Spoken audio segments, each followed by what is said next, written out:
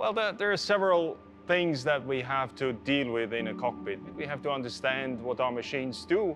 We have to be able to have sort of a language with them. We have to uh, interact with the machines.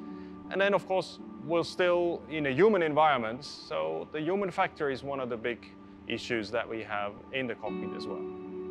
The aim of the PEGGASUS project is really to understand the state of the pilot. And to do that, what we need to do is capture uh, different signals from the pilot where they're looking to know if they're attentive to the right detail. CSEM has the ability to extract information from images in an intelligent way. And the challenges that come with that are things like it needs to work in real time, working at 60 frames per second to give real-time interaction. The system uh, consists of five cameras and active illumination, and this allows us to catch the field of view for a pilot, which is much larger than anticipated for something like a car. And also the challenges in the system include the lighting conditions, because when you're in a, a cockpit, it can be deep dark night, it can be broad daylight. Another issue is that some of the panels that we're looking at, when we need to capture their attention, are only two centimeters by two centimeters. So we developed a vision system in order to provide two different modalities of interaction to facilitate interactions of the pilots inside the cockpit. The first system is an eye gaze tracking system, which is composed of uh, different algorithmic blocks, machine learning and analytical approaches so that we have a fast decision making to be able to find out what is the eye gaze direction um, at each moment.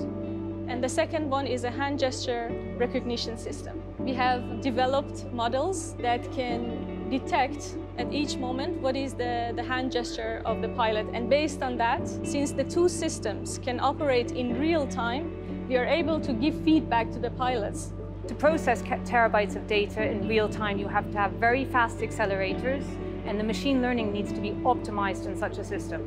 So it's not a standard system that you can use that can fail. It needs to be robust and extremely precise. And these are some of the challenges in the PEGGASUS system. It's really all about increasing efficiency, reducing workloads in the cockpit. And thus we had four different partners to tackle that problem who came up with uh, solutions. And now, after having conducted the final study, I think we have uh, very interesting uh, preliminary results. Especially as an instructor, it's sometimes really difficult or hard to know what the pilot gaze was or where he was looking at uh, in terms of scanning.